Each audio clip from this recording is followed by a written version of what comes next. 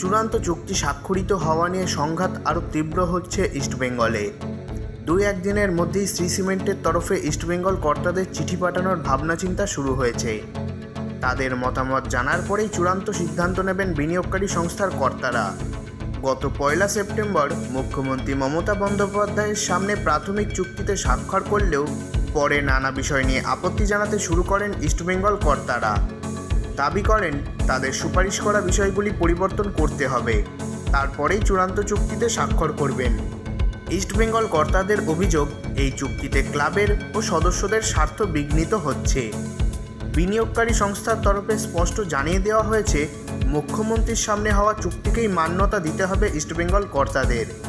এই পরিস্থিতিতে লাল হলুদ সমর্থকেরা আশা করেছিলেন বিনিয়োগকারী সংস্থার managing director Harimohan Bangur Dubai থেকে কলকাতায় আসার পরে সমস্যার সমাধান হবে। তবে তিনি শহরে আসার পরে পরিস্থিতি আরও উত্তপ্ত হয়ে উঠেছে। বিনিয়োগকারী সংস্থার তরফে কি চিঠি দেওয়া হবে?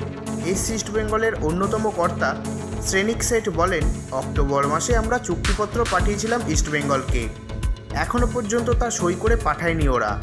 কিছু জানানোও হয়নি। তাই শেষবারের মতো চিঠি পাঠানোর কথা ভাবছি। জানতে চাওয়া হবে ইস্টবেঙ্গল কর্তারা ঠিক কী চাইছে।